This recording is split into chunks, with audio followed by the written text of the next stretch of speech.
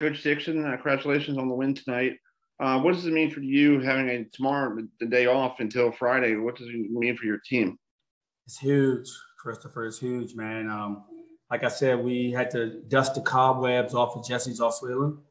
Uh, playing against a tough opponent early in the tournament, and you win, it gives you an opportunity to rest, to recover. All right, so Coach Chris and Steph, they're gonna take pride in making sure our guys recover, uh, get off their legs, uh, have a short walk through tomorrow, and get ready to play a tough game um, coming up on Friday. And if I can follow up with you, you know, is this one of your biggest uh, coaches' victories in your in your short coaching career? You know, even you know, if you want to go back to your college days. No doubt, it's huge, man. I I I say it all the time, man. I'm I'm living out my true purpose in life. You know, I played was very fortunate to play a lot of basketball. All right, but being able to give back to these young men, continue to help them grow as people, most importantly, but help them get better at the craft, at their craft. These guys love the game. We want to continue to put them in position to be successful, uh, continue to mentor them.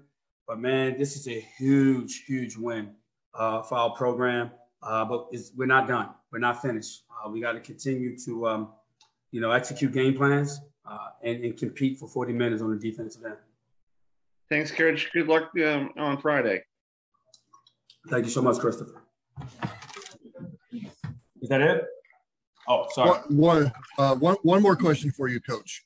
Um, what what was the mindset in the closing minute of the game? You had led throughout the game. At times, you were up by double digits, and then Howard comes back and they tie the game late. What was the mindset in the final moments? Well, we, we understand that the game is it's, it's a game of runs, and you know we had some runs early. We sustained it throughout the game. Howard's a very good basketball team. They made a run, got back in the game. Both teams missed timely free throws. Both teams missed open shots. But coming down the stretch, we knew we had to win this game on the defensive end. We couldn't come up short by not getting stops and then not having completion by not rebounding. All right, we did both of those things, and, and, and our superstar Nendah Tarke hit a huge shot down the stretch. Huge.